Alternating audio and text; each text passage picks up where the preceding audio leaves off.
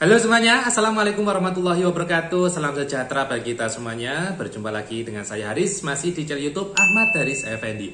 Ada kabar yang membahagiakan Khususnya bagi Anda semua Para penerima manfaat bantuan sosial. Bahwasanya pada bulan September, Oktober, dan November mendatang Rencananya pemerintah akan menyalurkan bantuan beras 10 kilo per bulannya atau total 30 kilo. Ini merupakan bantuan pangan tahap kedua yang sebelumnya kemarin ya mungkin masih ingat eh, sudah disalurkan bantuan pangan 30 kilo ya kemarin itu. Nah pada tahun ini disalurkan kembali bantuan pangan 30 kilo yang rencananya akan dilakukan bulan September, Oktober, dan November kali ini. Nah, bagaimana informasi lengkapnya? Kita akan ulas semua pada kesempatan kali ini dan berikut informasinya. Baik Bapak Ibu sekalian, berjumpa lagi ya dengan saya Haris, masih di channel YouTube Ahmad dari Effendi. Sebelum kita memulai eh, informasi kita kali ini ada baiknya bagi Anda Silakan bagi yang belum subscribe di channel YouTube Ahmad dari Effendi, silakan ditekan dulu tombol subscribe-nya ya. Tak lupa jempolnya juga ditekan sebagai bentuk dukungan pada channel YouTube ini agar terus berkembang nantinya ya. Bagi yang sudah subscribe, saya ucapkan terima kasih banyak. Baik Bapak Ibu sekalian, informasi kita kali ini saya sudah mendapatkan informasi yang sangat valid ya dari Eh, Badan Pangan Nasional terkait sosialisasi penyaluran eh, bantuan pangan tahap 2 tahun 2023. Di mana bantuan ini eh, berupa beras yang akan disalurkan kepada 21,3 juta keluarga penerima manfaat di mana nanti setiap keluarga akan mendapatkan 10 kg beras per bulannya ya nanti insya Allah akan disalurkan selama tiga bulan yaitu bulan September, Oktober, dan November tahun 2023.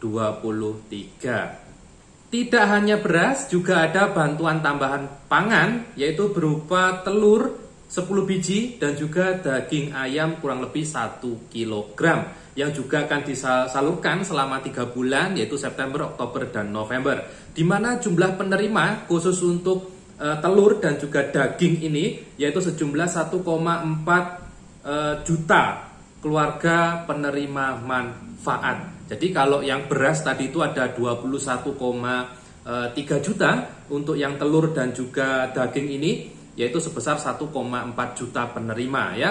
Di mana untuk telur dan juga daging ini datanya berasal dari data BKKBN.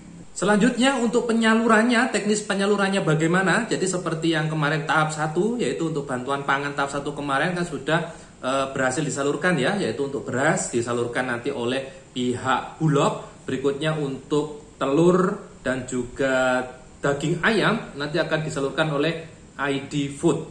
Nah, itu e, pihak penyalurnya titik baginya itu biasanya kalau penyalurannya biasanya ya dilakukan di kantor desa atau kelurahan masing-masing atau di tempat lain yang sudah disepakati bersama oleh pihak penyalur. Berikutnya Bapak Ibu terkait e, bantuan tambahan ini ya berupa beras ataupun telur dan ayam ini e, ini jangan sampai disamakan dengan bantuan PKH ataupun BPNT atau sembako ya.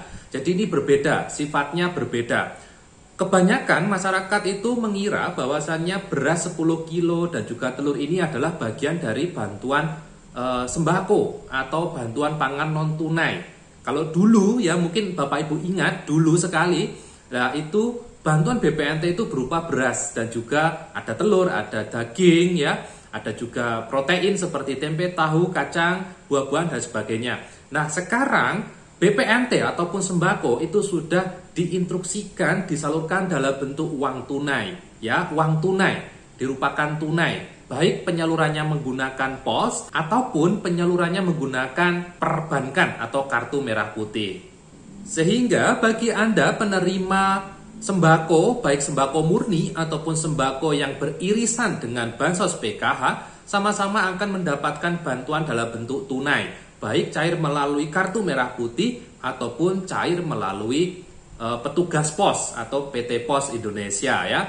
di mana bantuan yang dalam bentuk tunai itu diharapkan eh, kepada KPM khususnya atau penerima manfaat ini bisa dibelanjakan di mana pun ya bisa dibelanjakan di mana pun tanpa adanya paksaan atau pengarahan oleh pihak mana pun jadi Anda bebas membelanjakan bantuan itu tapi harus dibelanjakan sembako khusus untuk bantuan e, sembako atau BPNT tunai ya kalau untuk PKH, bantuannya ya diutamakan untuk membayar anak sekolah dan lain sebagainya.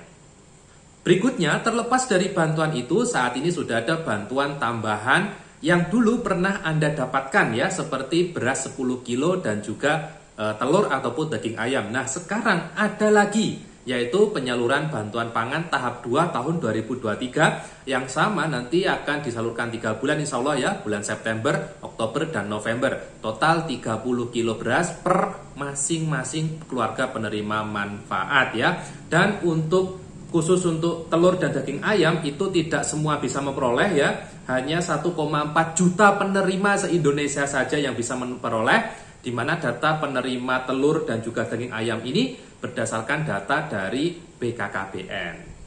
Baik Bapak Ibu, saya kira itu informasi yang sangat membahagiakan pada kesempatan kali ini terkait nanti kapan e, jadwalnya undangan untuk penyalurannya akan disalurkan kapan ya. Nah, itu nanti menunggu pihak petugas penyalur undangannya saja kapan gitu ya. Yang jelas ini kuotanya 3 bulan September, Oktober, November bisa jadi dimulai dicairkan di September ini paling cepat. Kalau tidak ya di Oktober, kalau tidak nanti dia di November. Ya intinya Nanti uh, insya Allah uh, tiga bulan ini akan disalurkan uh, proses penyaluran bantuan pangan ini ya. Apakah nanti akan digabungkan dua bulan atau tiga bulan nanti teknisnya tergantung masing-masing daerah ya. Lalu ada yang tanya, Mas ini yang terima ini apakah KPM PKH ataukah juga KPM BPNT? Ya saya kira datanya tidak jauh berbeda dengan penyaluran beras tahap satu kemarin seperti itu ya. Mungkin ada perubahan data sedikit, tapi setidaknya tidak jauh berbeda begitu ya. Ya terkait datanya saya pribadi tidak begitu memahami jelas e, ini datanya menggunakan data PKH ataupun BPNT ataukah ada data tambahan. Yang jelas untuk penerimanya di sini disampaikan ada 21,3 juta penerima se-Indonesia untuk beras dan juga 1,4 juta penerima se-Indonesia untuk e, telur dan juga daging ayam. Saya kira itu saja informasi yang bisa saya sampaikan pada kesempatan kali ini. Semoga infonya bermanfaat ya. Dan ketemu lagi nanti dengan saya Haris di info basos berikutnya. Jangan lupa klik subscribe bagi Anda yang belum. Mohon maaf kalau ada kesalahan kata dan ucap. Dan wassalamualaikum warahmatullahi wabarakatuh.